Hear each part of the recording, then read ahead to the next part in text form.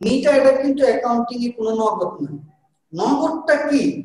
নগদটা হলো যে ধরো যেটা নাকি নগদের পর বিক্রয় তাহলে আমরা অ্যাকাউন্টিং এর এই আয় বিবরণীতে যে নীতি ইনকাম দেখি, এটা পুরোটা কোনো নগদ না। এটার মধ্যে বাকি আছে, নগদ আছে, অনগদ আছে, বিভিন্ন ধরনের এন্ট্রি আছে। সবসময় এটা খেয়াল রাখবে এই নগদ নিট আয় ধরে যখন আমরা আয় বিবরণী প্রস্তুত করি, তখন আমাদেরকে এই আয় বিবরণী অলরেডি আমি যখন প্রস্তুত করে ফেলছি, খেয়াল করার, সেখানে আমি অবচয়ের কারণে, এই দশ হাজার টাকা অবচয়ের কারণে আমার আয় কমে গেছে। যেহেতু আমার এই দশ হাজার টাকা অবচয়ের কারণে আয় কমে গেল, সেহেতু আমার ট্যাক্সের পরিমাণও কমে গেল। কেমন? ট্যাক্সের পরিমাণও কমে গেল, তাহলে আমার আয়ও কম। কিন্তু যখন তুমি, খেয়াল করো, যখন তুমি আইএস সেভেন অনুযায়ী নগদ প্রবাহ বিবরণী প্রস্তুত করবা, তখন তোমাকে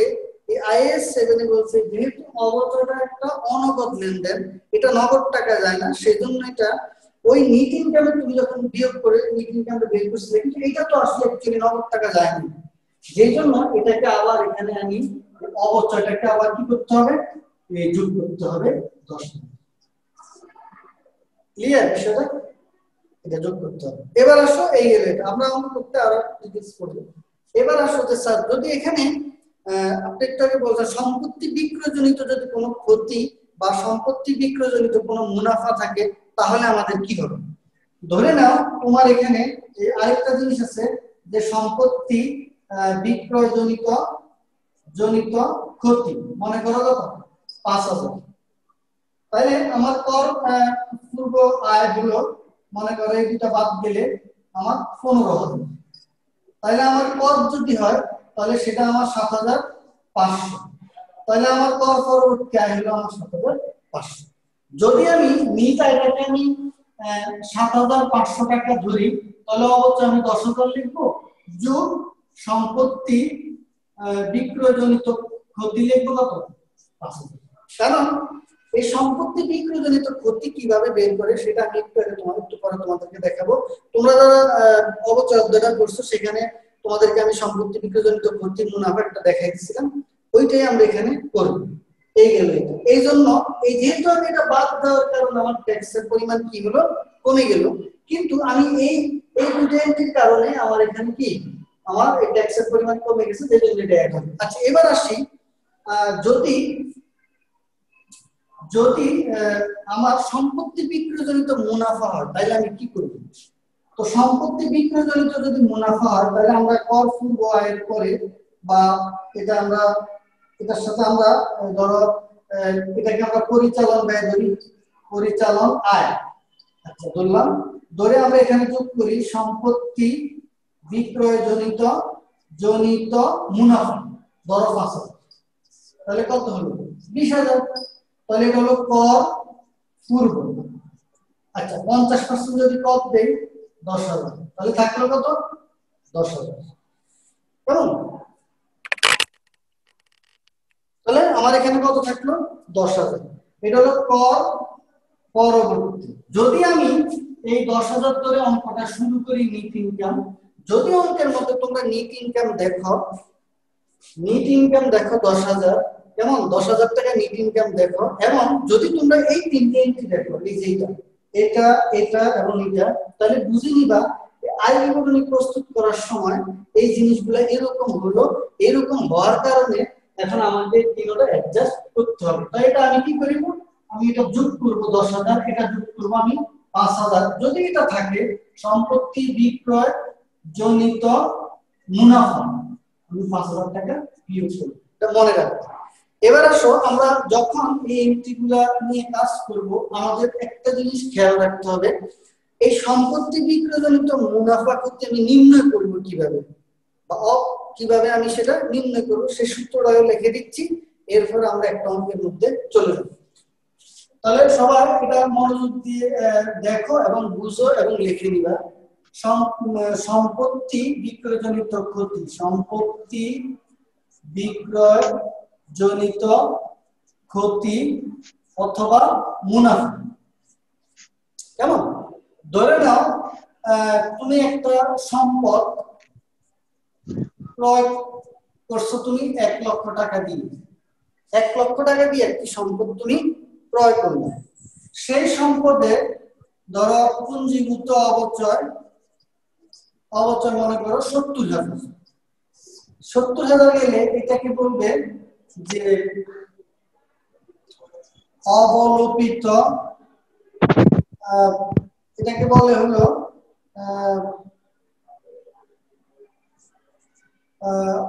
অবলো অবলোপিত মূল্য। এরপরে এই অবলোপিত মূল্য কত? তিরিশ হাজার। কেমন? অবলোপিত মূল্য হলো এখানে তিরিশ হাজার। এটার পরবর্তীতে আমরা এখানে লিখব, ধরো সম্পত্তিটা আমি বিক্রয় করে ফেললাম, ধরো পঁচিশ হাজার। তাহলে আমার সম্পত্তির ক্ষতি হলো কত? পাঁচ হাজার। এইটা আমি আসলে এখানে বসে কেমন আচ্ছা যদি আমার এই সম্পত্তি ক্লিয়ার যদি আমি সম্পত্তির অবলম্বিত মূল্য, এটা আরেকটা নাম আছে এই মূল্য থেকে হ্যাঁ এই মূল্য থেকে বা এটাকে আমরা আরেকটা বলি বুক ভ্যালু বলি এটাকে আমরা বুক ভ্যালু বই মূল্য। এটার থেকে যদি এটা বেশি মূল্যে বিক্রি করি, ধরো আমি পঁয়ত্রিশ হাজার টাকায় বিক্রি করলাম, তাহলে এটা হবে বিক্রয়জনিত মুনাফা। এইটাই এখানে আসবে, কেমন? তো আমরা চেষ্টা করব এগুলা পরবর্তীতে যখন আমরা করব, তখন আমরা আরও ডিটেলস বোঝার চেষ্টা করব আচ্ছা ঠিক আছে। এ পর্যায়ে আমরা পরবর্তীতে আরেকটা অঙ্ক আছে, সেই অঙ্কটা এখন করার চেষ্টা করব। আমরা অনুশীলনী চার করব, যেহেতু এখানে একটা ছোট্ট একটা অঙ্ক দিয়ে আমরা শুরু করি, কীভাবে আমরা একটা অঙ্ককে সাজাবো। এবং সেটা আমরা অনুশীলনী আমরা তাহলে অনুশীলনী তিন এবং চার দুটোই করা যাবে, আমাদের হাতে সময় আছে। আমরা অনুশীলনী তিন করি প্রথমে। তিন পৃষ্ঠা তিনশো তেত্রিশ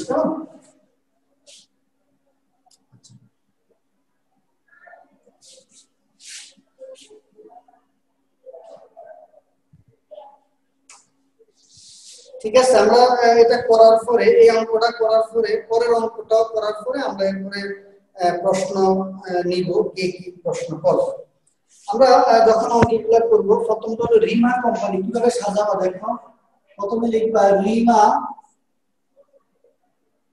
কোম্পানি রিমা কোম্পানি নগদ প্রবাহ বিবরণী। হ্যাঁ, আচ্ছা, দুই হাজার তেরো সালের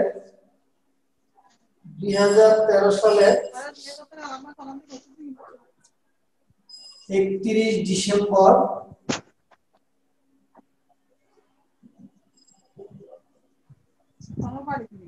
সমাপ্ত বছরে। কেমন? ঠিক আছে।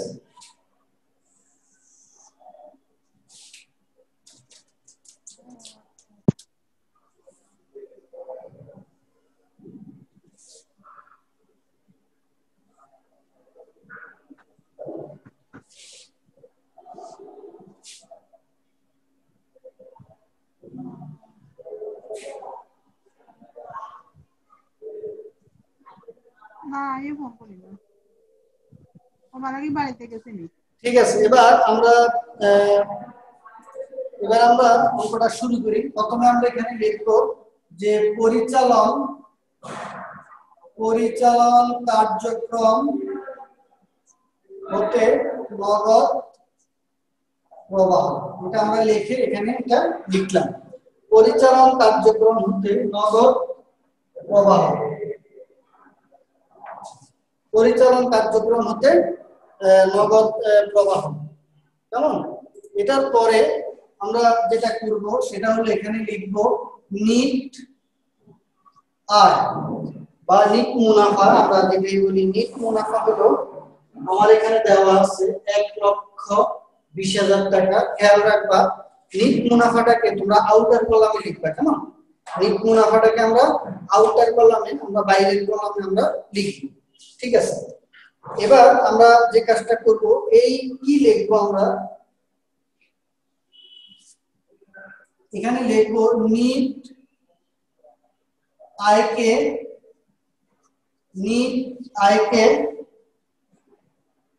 আমরা লিখব নিট আয়কে সমন্বয়ের মাধ্যমে মাধ্যমে নগদে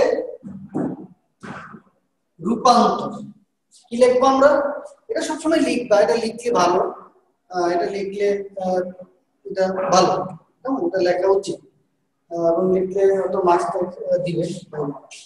তো আমরা এখানে লিখব যে নিট আয়কে সমন্বয়ের মাধ্যমে নগদে রূপান্তর।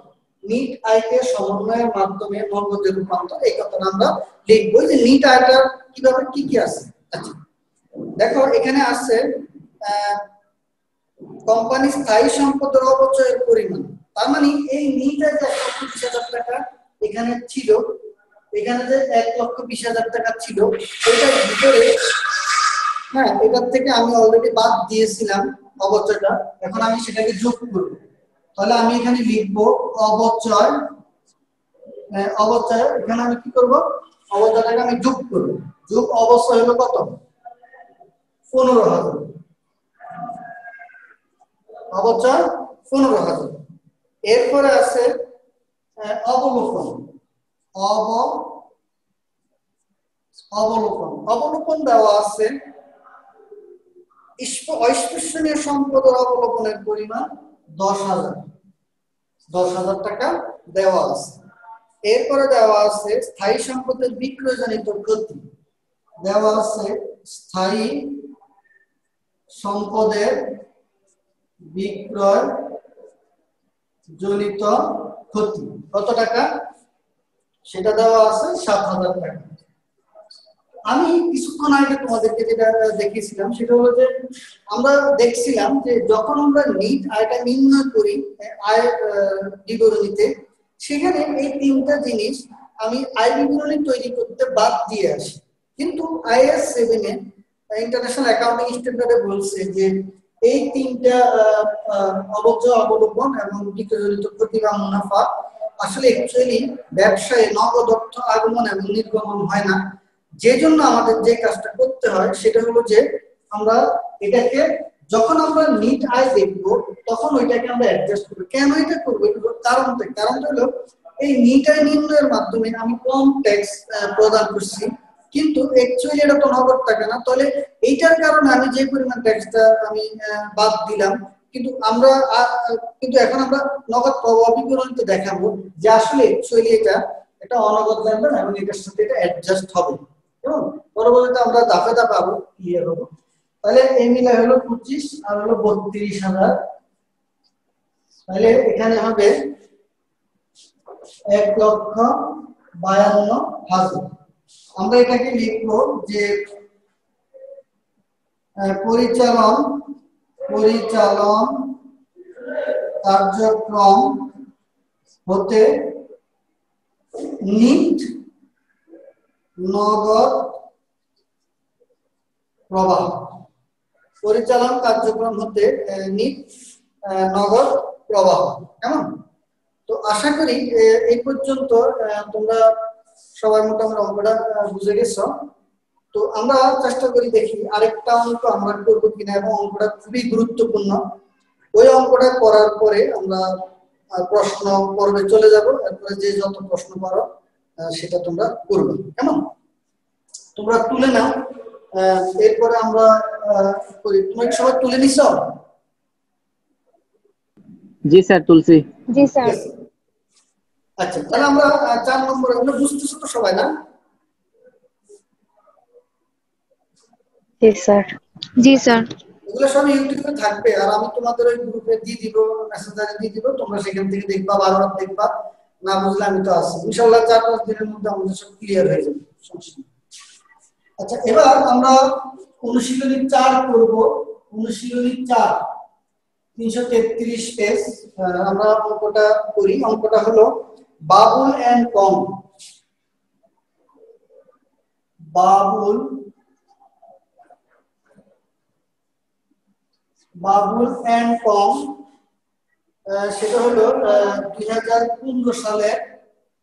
ঠিক আছে।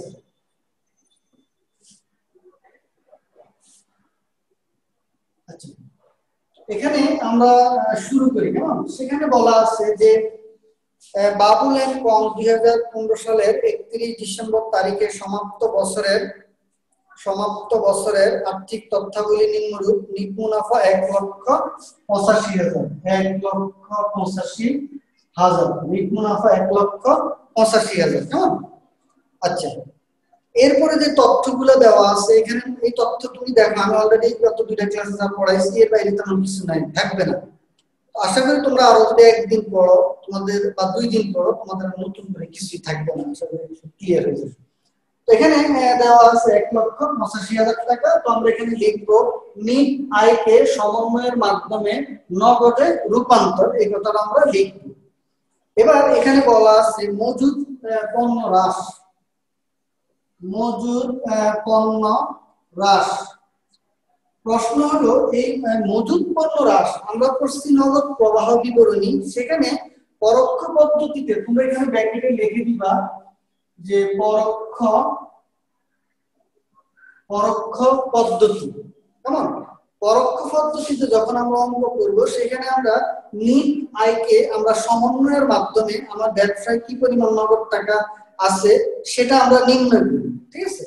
এই জন্য আমরা নিট আয়ের সাথে আমরা দেখব। এখানে পরিচালনার কি আছে? তো মজুদ পণ্য হ্রাসের বিষয়টা হলো যে এটার মাধ্যমে এই মজুদ পণ্যটা হলো আমার যে পণ্যটা আছে, সেটা কি বৃদ্ধি পেল নাকি হ্রাস পেল? তো স্বাভাবিকভাবে মজুদ পণ্য ব্যবসার থেকে যদি চলে যায় বা কমে যায়, তার মানে বুঝব নগদ টাকা আসবে। এখন আমার প্রশ্ন থাকতে পারে, আমি তো বাকি তো বিক্রি করতে পারি, তাই না। নগদ প্রবাহ বিবরণীতে আমি বুঝে নিব যে সেটা আমার নগদে বিক্রি করছি, যে জন্য আমার ব্যবসায় আমার টাকাটা আসছে। তাহলে আমরা এখানে লিখব মজুদ পণ্য হ্রাস হলো বারো হাজার। কেমন? মজুদ পণ্য হ্রাস বারো হাজার। এরপরে আছে প্রাপ্য প্রাপ্য হিসাব বৃদ্ধি, প্রাপ্য হিসাব বৃদ্ধি এগারো হাজার। প্রাপ্য হিসাব বৃদ্ধি হলো এগারো হাজার সরি প্রাপ্য হিসাব যদি বৃদ্ধি পায় তাহলে সেটা হবে বিয়োগ। আচ্ছা এগারো হাজার। আচ্ছা প্রশ্ন হলো, এটা কেন বিয়োগ হবে? মনে রাখবা প্রাপ্য হিসাব যদি বৃদ্ধি পায় প্রাপ্য হিসাব কখন বৃদ্ধি পায়? আমি যদি বাকিতে পণ্য বিক্রি করি, বাকিতে পণ্য বিক্রি করলে আমার প্রাপ্য হিসাব বৃদ্ধি পাবে। তার মানে আমি যদি বিক্রি করি, তাহলে আমার কাছ থেকে পণ্যটা রেগুলার চলে যাচ্ছে। তাহলে পণ্য চলে যাওয়া মানে কারেন্ট অ্যাসেট চলে যাওয়া মানে আমার নগদ টাকা চলে যাওয়া। যেই জন্য আমরা যদি নগদ যদি আমার এখানে যদি প্রাপ্য হিসাব বৃদ্ধি পায় অর্থাৎ তুমি কনসেপ্ট তুমি খেয়াল রাখবা, এটা কি কারেন্ট অ্যাসেট কিনা? কারেন্ট অ্যাসেট যদি বৃদ্ধি পায়, তাহলে বুঝে নিবা যে তোমার ব্যবসা থেকে নগদ টাকা চলে গেছে, এই জন্য সম্পদ বৃদ্ধি পেল। কারণ প্রাপ্য হিসাবের ক্ষেত্রে নগদ টাকা তো জানে প্রাপ্য হিসাবের ক্ষেত্রে তোমার পণ্য চলে গেছে। তো পণ্য চলে গেলে সেটাকে আমরা নগদ দিব কারণ সেটা আমার কারেন্ট অ্যাসেট ঠিক আছে? এই গেল এইটা। এরপরে আমরা যেটা করব, পদ হিসাব বৃদ্ধি। পদ হিসাব বৃদ্ধি। পদ হিসাব বৃদ্ধি সম্পদের ঠিক বিপরীত। মনে রাখবা অ্যাকাউন্টিং এ দায় বৃদ্ধি পায় কখন? দায় বৃদ্ধি পায়, তুমি যদি কোনো কিছু ক্রয় করো অথবা বাকিতে কোনো খরচ করো, তাহলে তোমার দায় বৃদ্ধি পাবে। এছাড়া দায় বৃদ্ধি পাওয়ার সুযোগ নেই। দায় বৃদ্ধি মানে তোমার কাছ থেকে কখন একজন টাকা পাবে? তুমি তার কাছ থেকে সুবিধা নিলেই তোমার কাছে টাকা পাবে।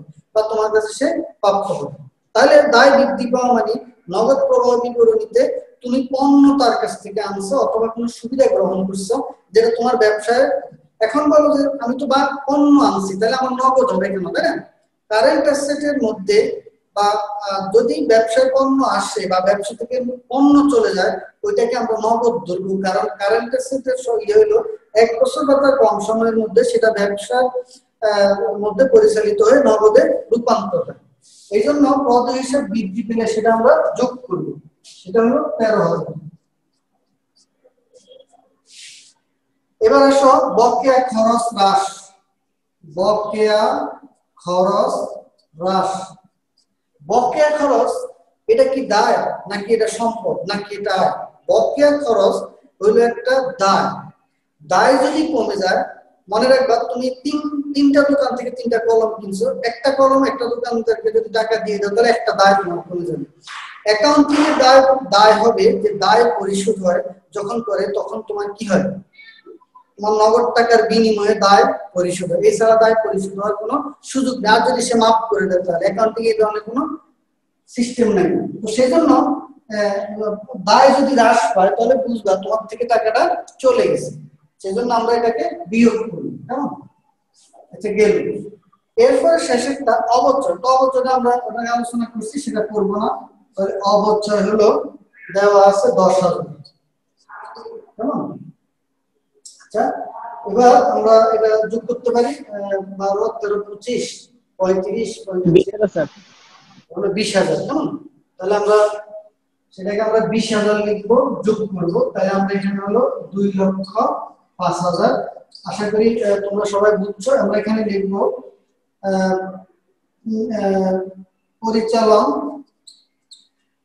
পরিচালন কার্যক্রম হতে নিট নগদ প্রবাহ। ঠিক আছে? তো আশা করি তোমরা সবাই বুঝছ। এবং আমার চ্যানেলকে অবশ্যই সাবস্ক্রাইব করবা, নতুন নতুন ভিডিও পাওয়া আশা করি সবাই ভালো থাকবে